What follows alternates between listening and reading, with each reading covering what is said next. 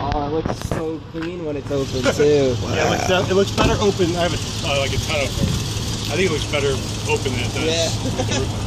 Every I once in a didn't expect someone's it to look that good. Why did you put a cloth? Why did you put a vinyl top on an FJ? Like, it's not a vinyl top. Yeah. That's sick. no, You lose. It's pretty thin, right? Yeah. But you you do lose the back glass, which is pretty big.